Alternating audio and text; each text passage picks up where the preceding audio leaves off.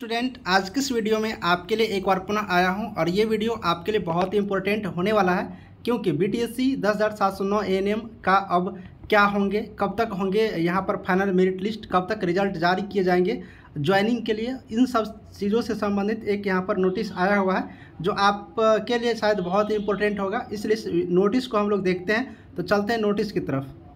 Notice आप लोग देख पाएँगे। इसमें क्लियर लिखा हुआ है, बिहार राज्य अराजपत्रित कर्मचारी महासंघ गोपगुट।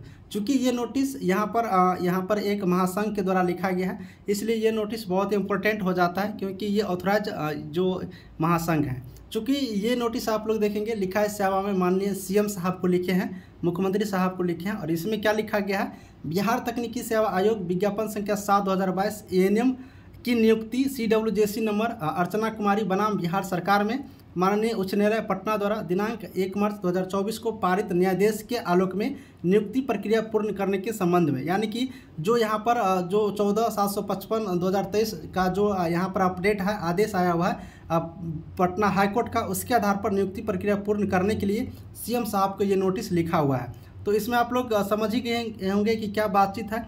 वही चीज़ की विज्ञापन संख्या सात दो हज़ार बाईस ए के लिए जो दो हज़ार सात सौ नौ पोस्ट है, एक जून दो हज़ार तेईस को वर्ष 2018 में गठित पूर्व नियमावली को रद्द कर नियमावली 2023 गठित कर दिया गया था और इस नियमावली जिसके विरुद्ध अर्चना कुमारी एवं अन्य एएनएम द्वारा इतना केस नंबर पटना उच्च न्यायालय याचिका दायर की गई थी और उस याचिका के अकॉर्डिंग यहाँ पर पटना हाईकोर्ट आदेश दिया कि पुनः 2018 नियमावली के आधार पर नियुक्ति प्रक्रिया पूर्ण करिए। इसीलिए एक मार्च 2024 को पारित जो किया गया उसके आधार पर यहाँ पर करने के लिए बोला गया। यानी कि मोटे तौर पर आप लोग यहाँ पर समझ गए कि सीएम साहब को लेटर लिखा जा रहा है और जिसमें बताया जा रहा कि 2018 का जो नियम था, उसके आधार पर पटना हाईकोर्ट का भी आदेश है और इस आधार पर आप लोग यहाँ पर प्रक्रिया को पूर्ण करिए ठीक है? विश्वास भाजन भी यहाँ पर देख सकते हैं और ये आज के डेट में, चौदह मार्च के डेट में ये नोटिस लिखा गया तो देखिए, अब सीएम साहब इस नोटिस पर क्या निर्णय लेते हैं और क्या अपडेट देते हैं बीटीएससी को और कब तक बीटीएससी रिज़ल्ट प्रक्रिया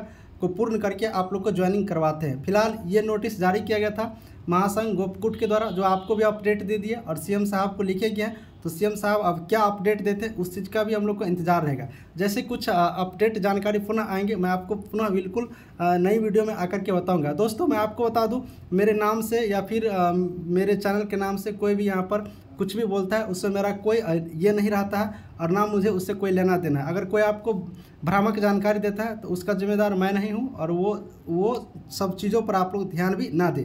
मेरे द्वारा सिर्फ़ अपडेट ऑफिशियल आते हैं, जो आपके बीच रखे जाते हैं और सारा वीडियो आपके सामने ही रहता है। चलिए, मैं आपको पुनः पुनः एक और नई अपडेट ला करके देता हूँ। इस वीडियो में इतना ही रहने देते हैं। सभी को थैंक यू